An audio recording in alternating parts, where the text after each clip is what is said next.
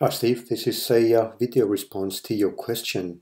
So what I've got here on my screen are the two sketches that you've sent me. Um, I was um, just having a look through them and I did spot a couple of things. Uh, but before I get to that, I just wanted to show you uh, what I've done uh, in preparation.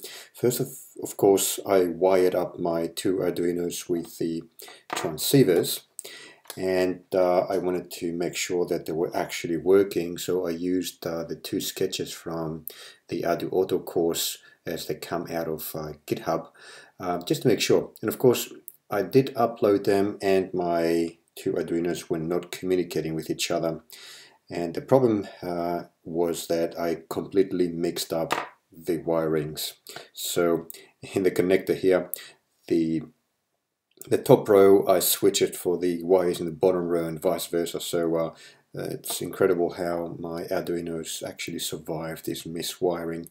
And anyway I used my uh, multimeter to double check that all the connections were correct as per the, uh, uh, the diagram here that's also part of the course.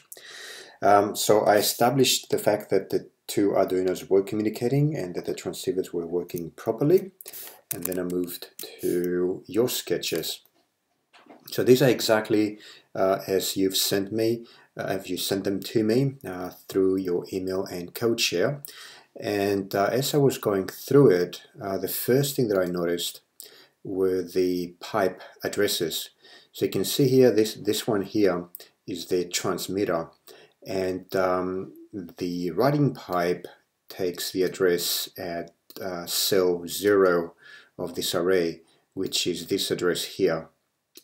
On the other side, on the receiver, you've got uh, just a, a, single address defined, so you are only receiving data. You don't want to send acknowledgements back.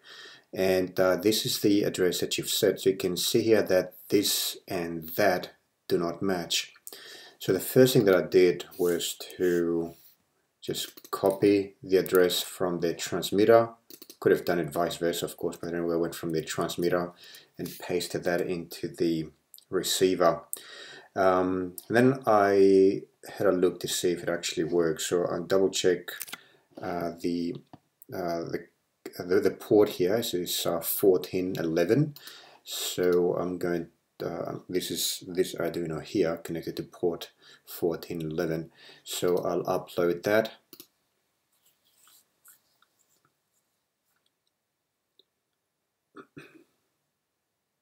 Okay, then I'll move on to the transmitter. I'm going to switch, change the port to 1451 and upload that.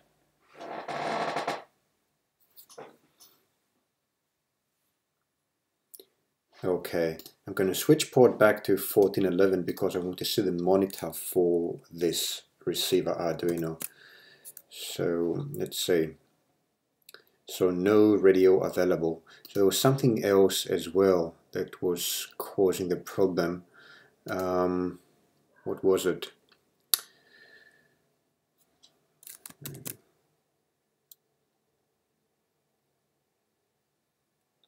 No radio. Oh, he may have to do that with the fact that my receiver Arduino doesn't have power.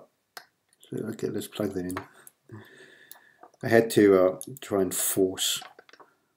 It's a really bad way of doing these things, but I was in a bit of a hurry, of a hurry so I had to force the cables in here. Anyway, I'll actually try without the capacitor. Should be okay on the receiver side. Alright, so reset.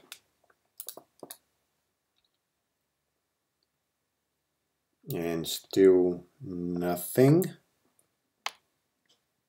Probably the same problem with the other side, with the transmitter. Alright, stack that in there, reset again. Alright, and now we've got data. Now if I stop auto scroll, you will see that I've got data transmitting. Um, there's another little issue that I'm going to talk about in a minute. So uh, what you're seeing here is the fact that the transmitter is sending uh, uh, a byte. You can see here that it's sending a single byte of data to the uh, receiver every 150 milliseconds. On the other side, you've got the loop here going around as fast as possible. So it seems that in the amount of time that it takes for the transmitter to send a single byte on the receiver end, we've already had, uh, let's see how many, we've already had uh, all of these loops. So every time you've got this many loops, then the transmitter manages to, to put in a, a byte which the receiver will pick. So if you don't want to be seeing all of these messages during the times that the transceiver is actually sending you something, then all you've got to do is just, just comment this line out and uh, that would do it.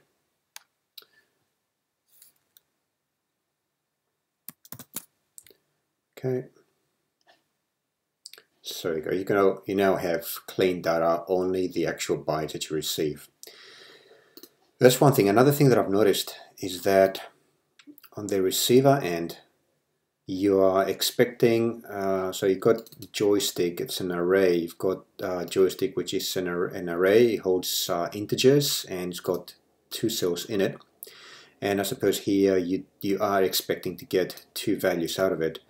On the other side though, on the transmitter, you have a message defined to be uh, a character, so a pointer to um, a character. I suppose you can put multiple characters here, but at the moment you've got just a, a single character A, and then down here where you're actually doing the sending, you are sending off character A and you're telling the transceiver that it's a single byte. So the transceiver will, the transmitter will send that byte and then move on to try and get an acknowledgement, which you actually never send. So this bit here is, is not doing anything useful. All that to that point is not doing anything useful since you're not sending back an acknowledgement. Um, so, um, so it's a matter of the the size of the payload. It's only a single byte where you are waiting for two bytes on the other side. Another thing that is happening is that we've got a, mismatch of um, data types. So you've got char here, where instead you have um, you are expecting where is it? So you are expecting integers. An integer occupies two bytes where a character occupies a single byte. So you need to take that into account um, when you're sending and transmitting things. You want to send and receive uh, as much as possible to the same data type Okay, so I hope all that helps. Um, uh, have a try uh, by yourself. Just uh, do this couple of fixes and uh, give it a go and uh, let me know if you are still having problems with it.